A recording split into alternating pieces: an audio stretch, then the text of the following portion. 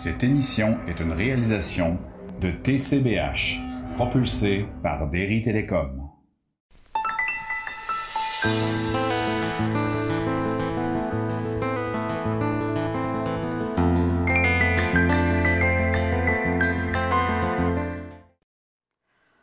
Bonjour et bienvenue.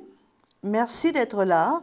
D'abord, euh, je voudrais remercier, avant d'oublier, euh, tous ceux et celles qui prennent la peine de signaler leur intérêt par euh, email ou bien un coup de téléphone ou directement sur le site de l'entretien. Merci de votre intérêt. Aujourd'hui, nous poursuivons ce que nous avons commencé la dernière fois, donc l'alliance oubliée. Et dans l'Alliance oubliée, il y a une partie où euh, Annick de Souzenel traite de la création. Et nous parlons de la création, mais nous ne disons pas jour, le jour. Le, premier jour ou le deuxième jour, on dit le jour 1. Parce que ce jour-là est une période qui, on ne sait pas combien de temps ça peut durer. Est-ce que ça peut durer des millénaires? Quand on dit le monde créé en ces jours, ce pas des jours comme nous, nous les comptons habituellement. C'est pour ça qu'on ne dit pas, selon la traduction, le jour 3, mais le, le, premier jour, le deuxième jour, on dit le jour 1, le jour 2, le jour 3, ça peut durer une certaine longueur d'année, on ne sait pas, des millénaires peut-être. Alors aujourd'hui, nous sommes au jour 3. Donc, c'est la séparation du sec et de l'humide. La terre sec et les mers. Dieu dit que se rassemblent les eaux qui sont au-dessus des cieux vers un lieu un et que soit vu le sec. Dieu appelle le sec terre et l'amas des eaux, il les appelle mer. Dieu voit parce que c'est accompli et non pas parce que c'est Dieu voit et que c'est bon. Le bon ici, le tob en langue hébraïque, c'est accompli. Donc Dieu voit parce que c'est accompli. C'est un ordre. Les eaux qui forment les cieux ont pour vocation de se coaguler et de devoir devenir du sec, c'est-à-dire l'inaccompli de euh, euh, l'accompli. L'inaccompli va passer à l'accompli et les ténèbres à la lumière, qui deviendra information pour l'inconscient, pour que l'inconscient devienne du conscient. Ainsi, l'homme ontologique ne peut aller que vers Dieu au terme de son accomplissement. C'est son espace divin, sa terre promise. Car cet ordre de rassemblement des eaux vers un lieu un est un appel amoureux de l'époux à son épouse, de Dieu à l'homme Adam que nous sommes. Nous sommes de nature divine, donc nous, notre origine est dans le divin. Cette terre sèche serait stérile sans les eaux d'en haut, car ces eaux d'en haut assurent sa fécondité. Elohim fait pleuvoir sur cette terre, née du désir que l'homme a de Dieu, le désir que Dieu a de l'homme réciproque. Jour de noces que ce troisième jour. Les eaux, séparées tout d'abord, viennent s'unir à la terre et jubilent. Elles s'emplissent de verdure, de fleurs et de fruits. Elles chantent ainsi la richesse de l'époux visité de l'époux, c'est-à-dire de visiter de l'époux divin. Si l'homme oublie dans son exil cette euh, luxuriance levée au-dedans de lui, notre monde, lui, en garde intensément le souvenir. Notre planète Terre serait comblée de richesses innombrables si nous ne les exterminions pas au fur et à mesure par notre inconscience collective. Le pire mal de l'humanité, c'est son inconscience ontologique. Le sel, discrètement, dissout dans nos eaux, les mers, les océans, les larmes, est un feu. Mettez du sel sur une plaie et vous verrez qu'il est feu. Ce sel est présence et symbole du feu de l'amour. Notre sang, pulseur de vie, nos océans vibrant de vagues et de marées, les eaux qui bercent l'enfant et le sculptent dans le ventre maternel, l'écoulement de nos larmes, toutes ces actions qui s'agitent en nous et autour de nous, se souviennent et nous interpellent. Le jour 3, ce chiffre 3 correspond, dans la mystique juive, au symbolisme du chameau, qui lui traverse les lieux arides en puisant dans ses propres réserves, ses bosses sur son dos. Nous rappelle cette image de l'homme en marche vers ses normes ontologiques, portant en lui toutes les énergies et le potentiel nécessaires vers sa réalisation ultime et éternelle, son féminin de l'être. Au jour 4 maintenant, Elohim fait les deux grands de la rupture, le grand luminaire pour présider au jour et le petit luminaire pour présider à la nuit et les étoiles. Vous verrez qu'est-ce que va faire les étoiles tout à l'heure. Le nombre 4 dans la langue hébraïque encore est relié à une idée de stabilité, d'équilibre, voire d'arrêt nécessaire à toute structuration. Pourquoi mais pour préparer un passage. Une porte, c'est un passage. Le 4 correspond à la lettre Dalet qui signifie la porte. Passage, mouvement et vie.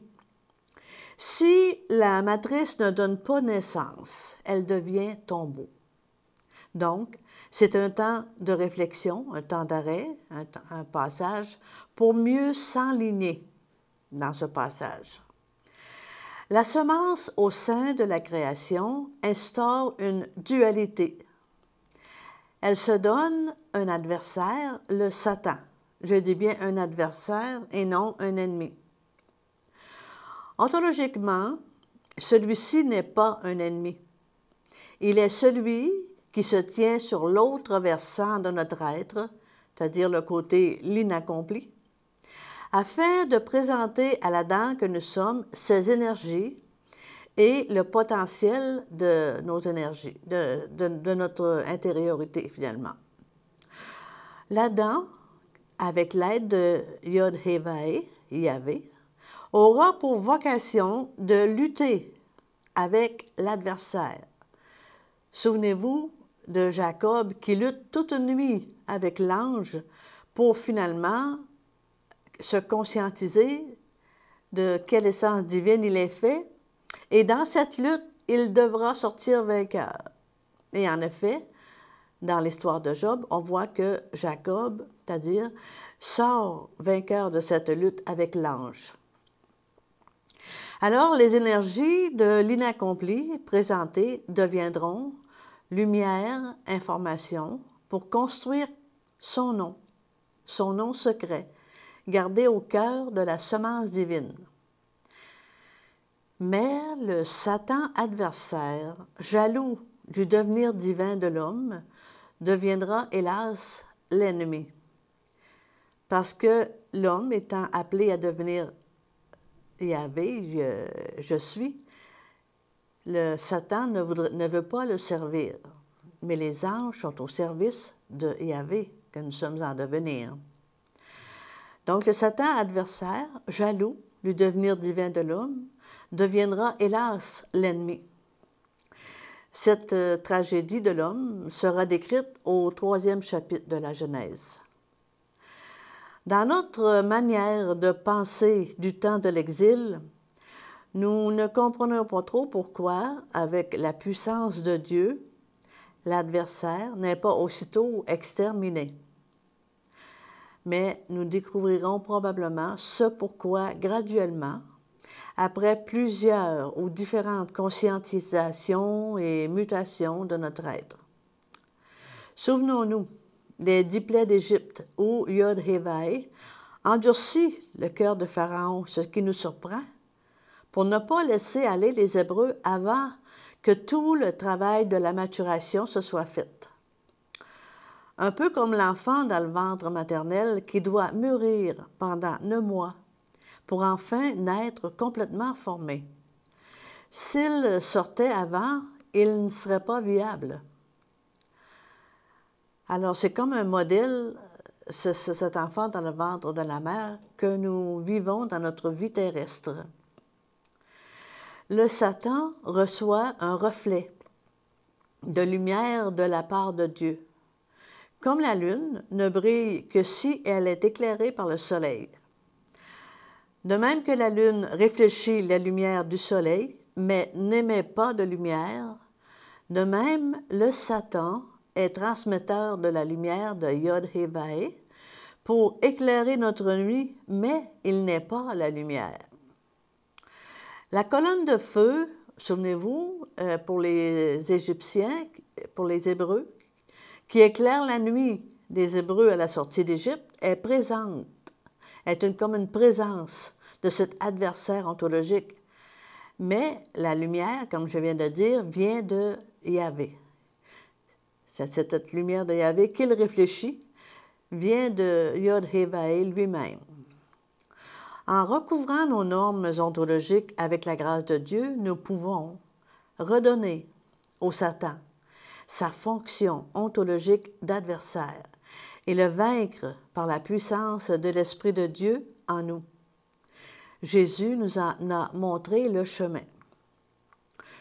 Avec les deux luminaires, Soleil et Lune, Dieu donne aussi les étoiles.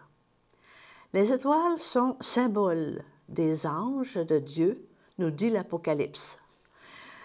Ce sont des énergies divines qui nous assistent. Ils sont des relais de lumière, comme des transformateurs d'énergie, depuis les hautes euh, les plus hautes hiérarchies qui entourent le trône divin jusqu'à l'homme. Ainsi, vous avez vu, le ce jour 4, c'est la, la, création des grands luminaires qui vont nous aider à poursuivre notre route. Nous passons maintenant au jour 5.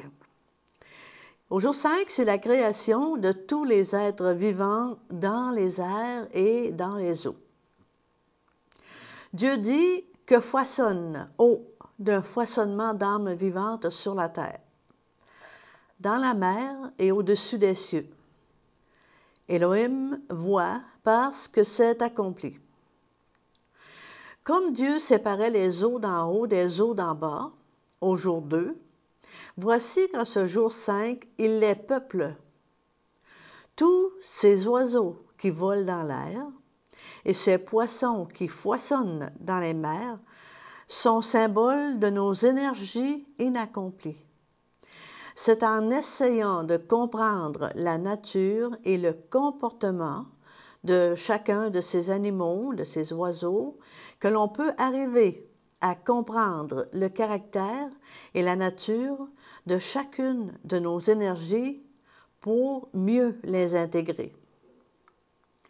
Pour la première fois, en ce jour 5, sont nommés âmes vivantes, les oiseaux du ciel, les poissons de la mer. L'oiseau a le rôle d'assumer la source des profondeurs pour remonter vers les hauteurs. Il nous rappelle la descente dans les profondeurs de nos énergies inaccomplies pour remonter vers les hauteurs de nos énergies accomplies, c'est-à-dire le sec. Dans la symbolique ontologique, les poissons de la mer, eux, peuplent la nature de l'inaccompli et l'oiseau, les cieux, de nos accomplis. Cieux et terre, dans ce même mouvement créateur, commencent ici de respirer. Âme vivante veut dire que la vie est insufflée en eux. Et Dieu bénit poissons et oiseaux et dit, Croissez et multipliez-vous.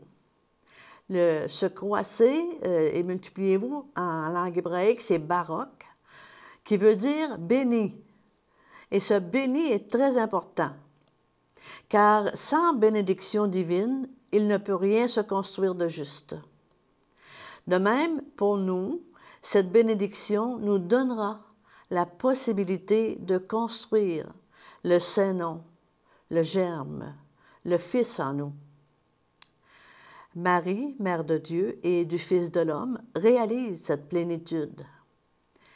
Elle vit sa matrice d'eau chez ses parents, elle vit sa matrice de feu au temple et avec le Christ, elle va vivre la matrice du crâne. Elle le reconnaît dans son Magnificat. Quand elle dit Le Seigneur fit pour moi des merveilles, saint est son nom. Et ici, le nombre 5, c'est le He qui représente le souffle. Le 5 et le souffle sont donc liés par cette lettre He dans la composition du nom Yod He Va He. Deux He de valeur 5 donnent le 10, qui est le symbole du nom de Dieu.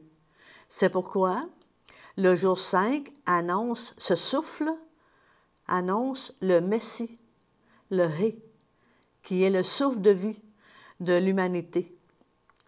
Quand le Christ viendra s'incarner dans notre terre d'exil, ce sera la période 6 de notre ère. Nous sommes maintenant au jour 6. Dieu dit que la terre, donc le sec, produise âmes vivantes selon son espèce, bétail rampant et les vivants du sec. Et chaque rampant de la Adama selon son espèce. Et Dieu voit parce que c'est accompli. Euh, lié au jour 3, souvenons-nous, où les eaux du ciel et les eaux de la mer sont séparées. Ici, le jour 6 célèbre lui aussi le couronnement de l'œuvre en deux temps. Tout d'abord, le sec, appelé terre au jour 3, correspond au jour 6 dans l'apparition des âmes vivantes de la terre. C'est le monde végétal, puis le monde animal, chacun selon son espèce. Le mot espèce apparaît dix fois au total dans, dans ce texte. Le nombre 10 symbolise donc, on l'a dit, le nom divin dans le registre du créé. Il est lumière du yod. C'est l'iode, la lettre qui veut dire yod he vahe. L'Adam, l'homme, créé dans la seconde partie de ce jour 6, est fait pour atteindre à la ressemblance divine. Il pourrait être dit, donc, cet Adam, espèce de Dieu, car il contient en lui cet Adam que nous sommes, dans sa semence, toute la promesse de devenir un Elohim. L'homme, image du Verbe divin, sera défini par son Verbe, sa parole. Souvenez-vous que dans toute la création, seul, seul l'homme peut parler parce qu'il est debout. Maintenant, le mot Bereshit, c'est-à-dire ici, ça va être le mot Behema, traduit par bétail, est à remarquer, car nous le retrouvons dans plusieurs livres de la Bible sous sa forme plurielle qui est le Behémo. Bien qu'il soit traduit par un singulier, il désigne alors le dernier grand seigneur des enfers, qui réunit en lui tous les vivants de terre et qui, avec le Léviathan, se présentera devant l'homme que nous sommes quand nous serons rendus dans la matrice du crâne. Il sera l'adversaire de la dernière mutation de l'homme que l'homme aura à accomplir. À cette étape, toutes les énergies animales deviendront information. L'homme sera totalement connaissant dans la pleine lumière. La Adama, terre intérieure, est le féminin de l'Adam que nous sommes. Cette terre intérieure, cette Adama, nous l'avons vu, a un rôle maternel. Elle, a, elle est comme la matrice de laquelle l'Adam est appelé à naître de terre en terre successive. Ces âmes vivantes sont les, sont les, poissons, petits et grands, insaisissables par l'homme dans les eaux de l'inaccompli, qui, tirés des eaux par Dieu, sont alors faits animaux de la terre. visibles et saisissables par l'homme, afin que celui-ci fasse de leurs énergies inaccomplies de l'accompli. Si l'Adam ne les saisit pas et n'accomplit pas leur énergie, ces animaux retourneront à l'état de poisson, dans les eaux de l'inconscient. Alors, il entretiendrait la situation d'exil. Il se resterait dans l'inconscient. Mais s'il les saisit et les travaille, il entre alors, à ce moment-là, dans la dynamique du faire, diminution humain, qui le conduira de l'image à la ressemblance de Dieu. Au cours de ces étapes, l'homme aura affaire avec l'énergie du taureau, puis avec celle du lion qui est feu, avec celle de l'aigle dans sa puissance de vision, avant de devenir l'homme totalement accompli. Ce sont les quatre vivants connus sous le nom de tétramorphes, une vision que dont on parle dans Ézéchiel, Ézéchiel, oui, euh, au chapitre 1, le euh, verset 1 à 14. Alors, nous l'avons vu, le sommet de cette opération divine du jour 6 est celle de l'homme. Dieu dit, Faisons un Adam. Un mystérieux conseil divin au sein de la divine Trinité préside certainement à la décision d'une si grande œuvre. Mais la présence de l'Adam est aussi là pour expliquer ce pluriel, ce faisons. L'Adam est déjà dans le cœur de Dieu comme une fois créé, Dieu sera au cœur de l'Adam. Dans le livre de Job, nous lisons Le nombre de tes jours est incontable, dit Dieu à Job, lui rappelant qu'il était déjà là lorsque, créant la terre, Dieu mettait les limites à la mer et posait les verrous des portes. Vous avez ça dans Job 38. Il est permis de penser qu'à l'issue de cette concertation divino-humaine, l'Adam accepte le travail qui le conduira à la ressemblance divine. C'est le oui de l'épouse répondant à l'époux qui la demande en mariage. Alors, Dieu crée l'Adam dans son image. C'est l'histoire avec un grand H sous l'histoire avec un petit H, ou encore l'endroit de la tapisserie dont notre condition d'exilé ne nous laisse voir que l'envers. Malgré les infidélités et les turpitudes de l'épouse que nous sommes, le véritable époux, épris d'un amour infini pour elle, tisse en silence l'histoire de la création sans entraver la liberté de l'Adam, puisque cet Adam a consenti à cette finalité. L'Adam est programmé avec son consentement. Pourquoi? Pour atteindre à la ressemblance. Nous l'avons dit, l'Adam est de sang divin, de race divine.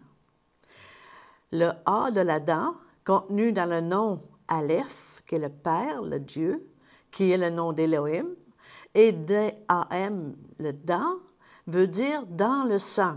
Donc, Adam veut dire Elohim dans le sang. Dans son image, dans l'image d'Élohim, il crée lui, mâle et femelle, il crée eux, lisons-nous dans la Genèse. Exprimé pour la troisième fois dans ce premier chapitre de la Genèse, le verbe créer concerne le couronnement du créé, l'Adam. La divine Trinité pose devant elle l'Adam qui, image divine, se révélera trinitaire. Le deuxième chapitre nous le dira. Indéfini jusqu'alors, l'Adam créé, est maintenant bien défini dans sa personne. L'Adam, en son essence, en tant qu'image de Dieu, est créé l'Adam mâle et femelle. En termes ontologiques, il ne s'agit nullement de la différenciation sexuée homme-femme que nous connaissons dans notre corps animal d'exilé.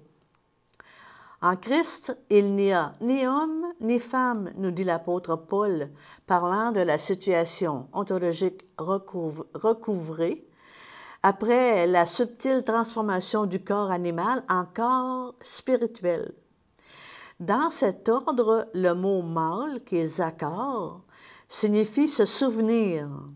Se souvenir de quoi? De son autre côté, le pôle femelle. Faisons un Adam dans notre image et capable de notre ressemblance, nous dit la Genèse. Adam, chacun de nous, a en quelque sorte les cartes en main pour s'accomplir et pour faire de la lumière. La femelle ontologique intérieure en chacun de nous est une profondeur sans fond qui permettra de muter autant de fois qu'il faudra pour transcender jusqu'à l'infini. Elle est ces cieux de la danse féminin, peuplés d'un potentiel incommensurable d'énergie inaccomplie. Comme les étoiles qui n'auraient pas encore donné leur lumière individuelle, mais qui toutes gravitent autour du noyau fondateur, l'image divine, la semence du Fils, que ce pôle femelle tient scellé dans ses eaux, c'est cieux. Même au niveau tragique de l'exil, grâce à la présence d'Élohim dans le sang, le cœur de l'Adam continue de battre.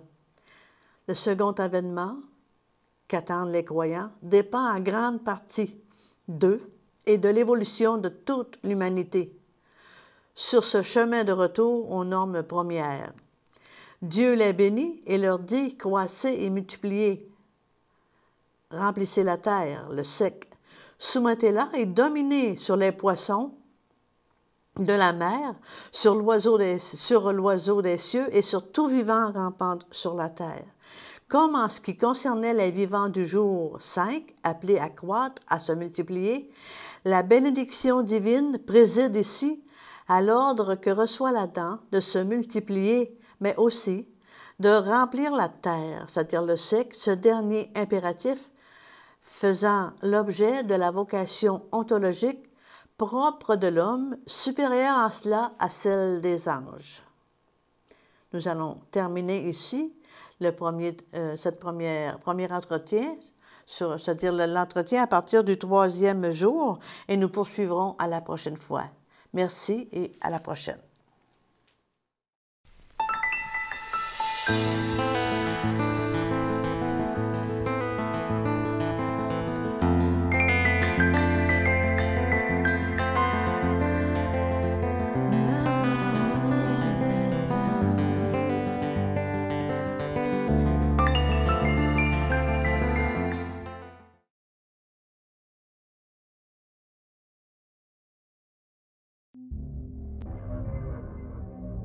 Cette émission est une réalisation de TCBH, propulsée par Derry Télécom.